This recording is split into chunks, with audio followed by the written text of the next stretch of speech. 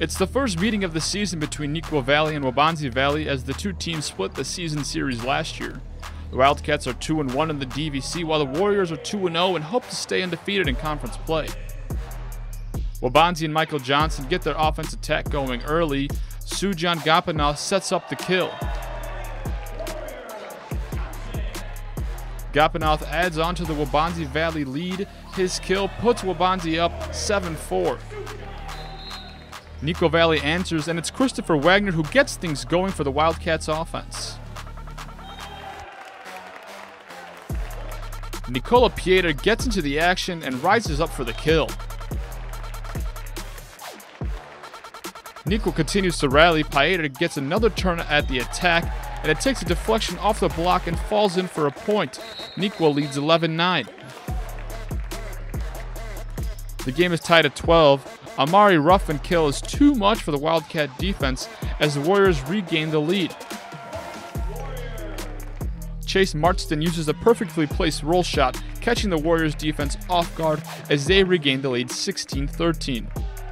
Warriors up 22 to 17. Paeta tries to ignite Neuqua Valley's later set comeback with his kill, making the score 22 to 18. The efforted rally from the Wildcats ties the game at 22. They got six straight points, placing the pressure on the Warriors to answer. It's Gapanoth on set point who stuffs Paeter, ending the Neuqua Valley rally. Waubonsie picks up set one win, 25-22.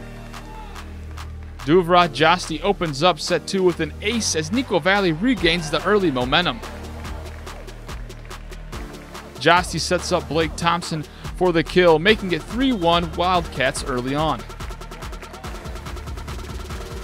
As he did in set one, Johnson puts down another kill for the Warriors, this time from the right side position. Wagner provides more offense to build on the Wildcats' early set 2 start. His kill gives Neuqua Valley a 7 4 lead. Marston explodes off the floor and slams it down, extending the lead for the Wildcats 14 8. This time on defense, Martinin uses his 6 foot 4 height to rise up and get a block for the Wildcats. They have their biggest lead 20 10. Ruffin tools the kill off the Wildcat block as they try for a similar comeback that Neuqua Valley had in set 2. They trail 21 12. Neuqua Valley in full control ends set 2 with a Wagner kill as they even the match with a 25-18 win. It was all Gopinov to start set 3. His kill down the line gets the game going, then his ace continues a 6-0 start before Neuqua Valley takes a timeout. Wagner and Marston's offensive game helped bring the Wildcats back to within 3 after the scoreless start. They trail 8-5.